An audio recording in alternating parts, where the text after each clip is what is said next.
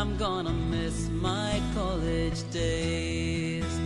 I'm really gonna miss this place. I'm gonna miss my college days. याद है वो सारे लेक्चर्स हमने जो बंक किए थे प्रॉक्सी का पकड़ा जाना हो लफड़े क्या कम किए थे? हो मिल के लिखना वो जानर्स और सबमिशंस लास्ट मिनट पे। एग्ज़ाम्स की वो तैयारी और लिखना वो तीन घंटे। और बाहर आके वो कहना, साला क्या बेकार पेपर सेट किया था यार।